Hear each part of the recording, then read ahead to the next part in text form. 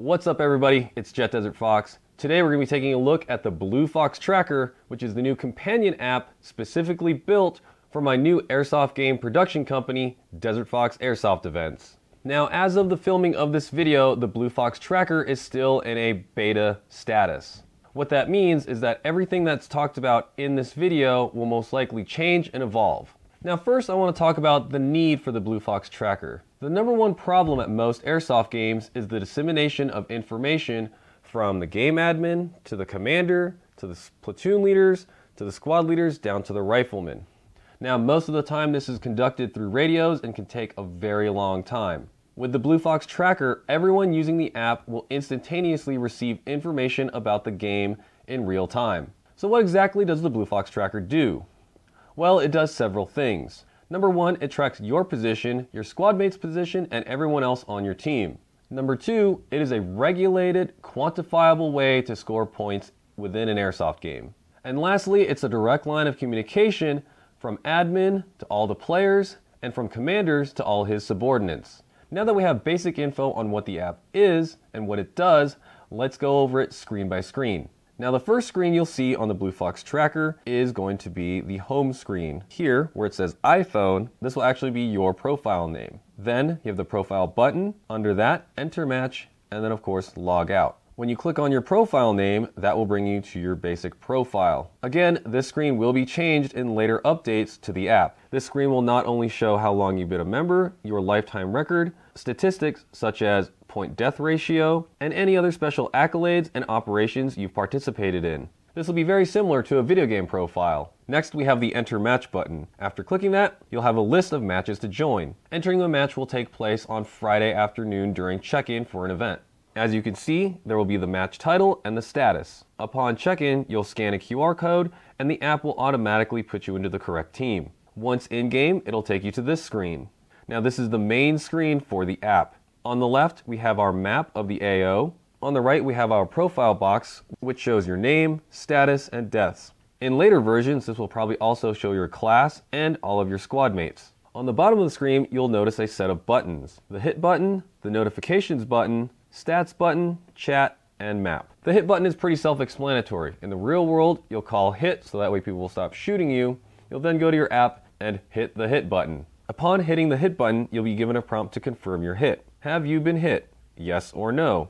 If you have been hit, you'll hit yes, and your status in your profile area will change from alive to wounded. Once your status has been set to wounded, the app will alert medics nearby. Your icon on the map will change from a player to a medic symbol, alerting medics that you need to be revived. If a medic does eventually get to your position, all he has to do is stand within a certain radius of the wounded player, and the app, through proximity, will automatically heal the wounded player and then score points for the medic.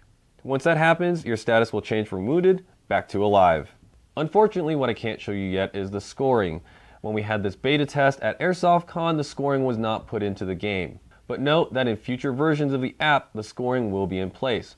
Calling hit will score you points for sportsmanship, reviving players will score you points for just, you know, being a medic and doing your job, Moving to waypoints, which we'll get into in a little bit, will also score you points for following orders. The next button is Notifs, or Notifications. In this box, leadership and admin can issue orders or give you game alerts. For example, the task force commander or ground force commander may order Squad 1 to attack Alpha, Squad 2 to attack Bravo, and Squad 3 to move to a waypoint north of Charlie. From an admin standpoint, we can call a ceasefire or pause the game with notifications. Now, this brings us back to the problem of dissemination of information in Airsoft. Not a lot of Airsofters, unfortunately, can read a map. With the app, leadership can now set a waypoint on the map. Players can then use the app to find the waypoint. Now, no matter where you are in the AO, you will be able to see the waypoint set by leadership for your squad.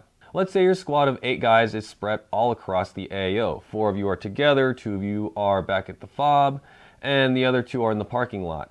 Using that waypoint, you now can all see exactly where you need to go to meet back up with one another. As I said previously, once you make it to the waypoint, you will score points for following orders. This encourages team play and also helps keep your unit together so you can all continue to have fun playing as a squad. Next to notifs, we have stats. The stats tab is basically the scoreboard for the game. On the stats page, it'll have the team name, player names, Later on, it'll show points, their status, and their deaths. Also, later on in the game, this will probably also depict what class they are. Next to the stats button is the chat button. This is pretty self-explanatory. You can select on a player and chat with them inside the app. And lastly, we have the map tab, which will basically just bring you back to the map screen. Currently on the map, you see these icons that look like houses. Those icons, as of right now, represent capture zones. Capture zones basically work like conquest points. They'll have a certain radius in which players will stand in to capture the point. The capture zone will be denoted on the map so you can see exactly where it ends and starts.